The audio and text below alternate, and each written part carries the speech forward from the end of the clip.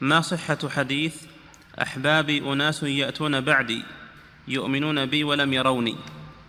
لا إخواني قال, صلى الله عليه وسلم ليتنا رأينا إخواننا. قالوا يا رسول الله ألسنا إخوانك؟ قال أنتم أصحابي ولكن إخواني من يأتون من بعدي.